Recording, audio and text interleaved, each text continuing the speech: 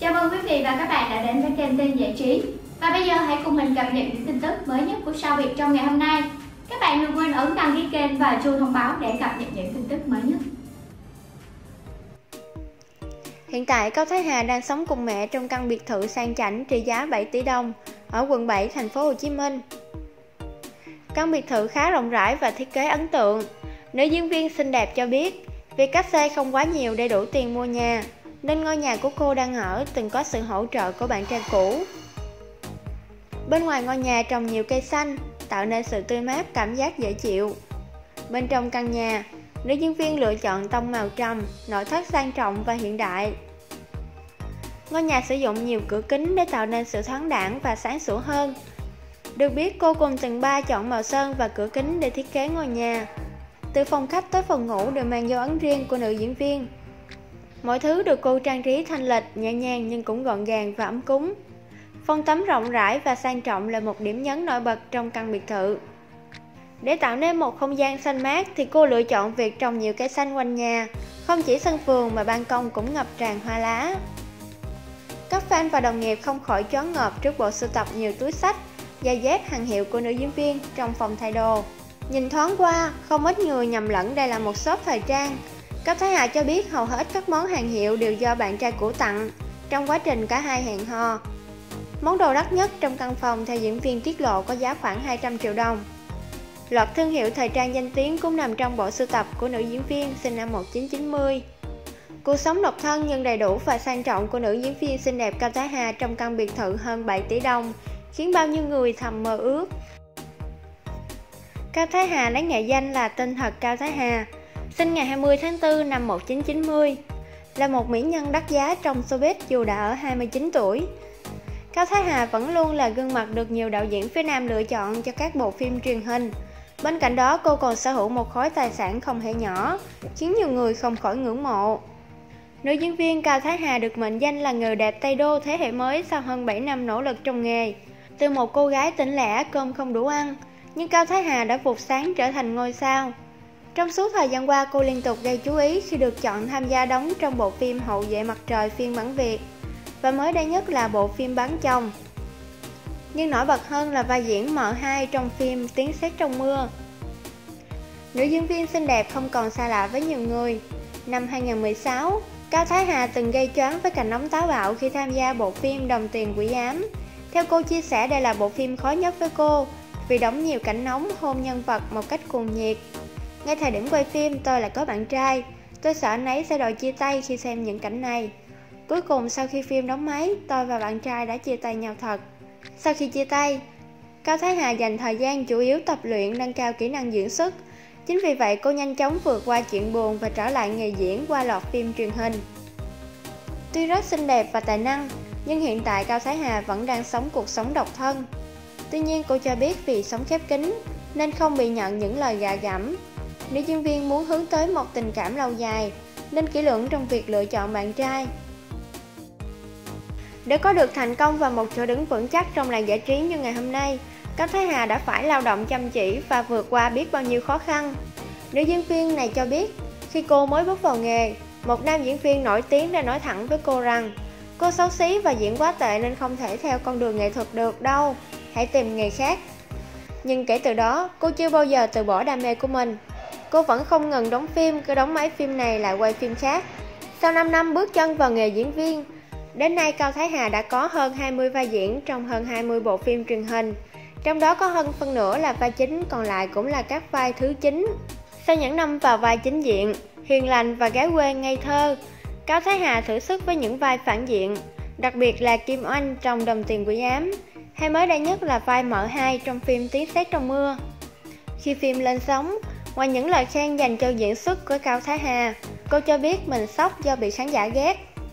Cao Thái Hà kể có lần đang bún riêu, tôi bị hỏi rằng con ơi, mặt con cũng dễ thương mà sao con ác quá vậy?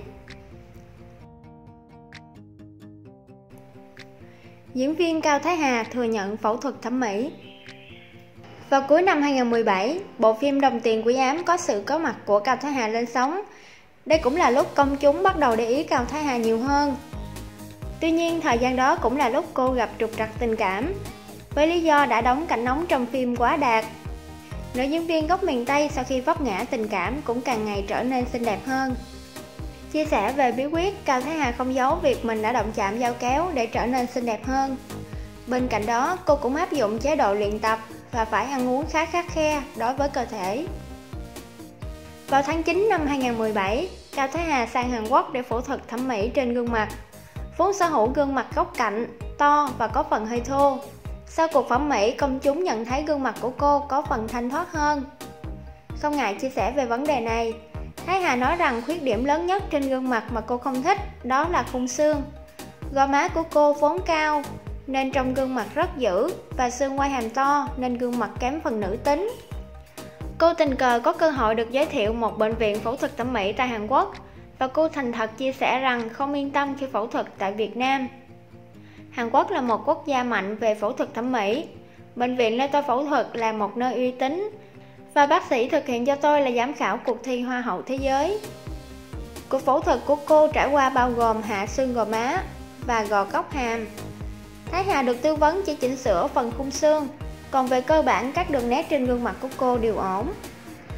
Sau khi phẫu thuật tôi không hề cảm thấy đau, một phần là do kỹ thuật gây tê tốt, nhưng gương mặt lại sưng to và cứng hết các cơ nên tôi không thể ăn được trong 10 ngày đầu. Tôi chỉ có thể hấp cháo, uống sữa và ăn những thức ăn mềm. Một tuần sau có thể tháo băng và ăn cơm được nấu như. Bắt đầu từ một tháng là tôi đã có thể ăn uống bình thường như những thức ăn cứng. Và sau 3 tháng tôi có thể đi làm lại. Cao Thái Hà cũng bày tỏ quan điểm của mình về việc phẫu thuật thẩm mỹ ở thời điểm hiện tại. Tôi cho rằng đó là điều hết sức bình thường.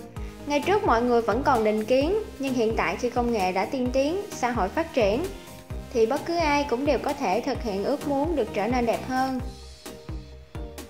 Cao Thái Hà cho biết, trước đây khi chụp hình tự sướng bằng điện thoại, tôi phải dùng phần mềm để bóp mặt thon gọn hơn. Nhưng sau phẫu thuật tôi không phải làm việc đó nữa. Mới đầu khi nhìn vào ống kính điện thoại tôi không thể tin đó là chính mình. Gương mặt của tôi đã nhỏ hơn hẳn và tất nhiên tôi không cần dùng đến phần mềm chỉnh sửa. Để đủ can đảm thực hiện điều này, Cao Thái Hà đã đấu tranh tâm lý gần một năm trời và sắp xếp thời gian nghỉ đóng phim trong gần 3 tháng để được hồi phục 100%. Trước đây nhiều lần tôi bị từ chối nhận vai vì gương mặt quá góc cạnh, hàm vuông kém thon gọn. Còn nếu vai lớn đa phần là những cô gái ác, ích kỷ. Là người làm nghề, ngoài thực lực đã được công nhận, tôi còn muốn muốn có cơ hội thay đổi hình ảnh, đảm nhận nhiều tuyến nhân vật khác nhau. Nghĩ đến công việc, tôi muốn mình trở nên xinh đẹp để ngày càng hoàn thiện hơn. Tôi nhớ như in cảm giác khi mình chuẩn bị đặt bút ký một hợp đồng vai diễn điện ảnh, lại bị nhà sản xuất thay thế phút chót vì gương mặt tôi khá to. Họ sợ lên khung hình không đẹp, đó là lý do tôi quyết định đau đớn để giao kéo. Cô trải lòng.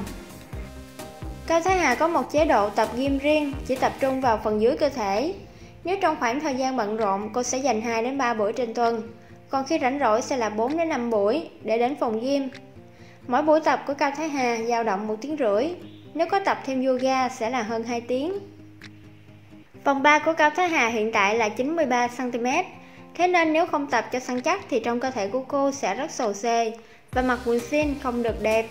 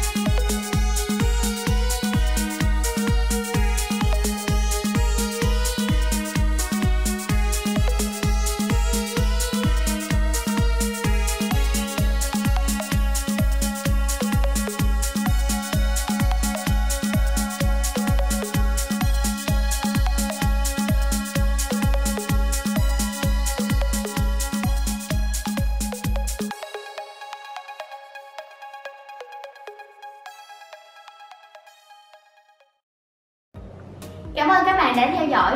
Và các bạn đừng quên ấn đăng ký kênh và chuông thông báo để cập nhật những tin tức mới nhất mỗi ngày.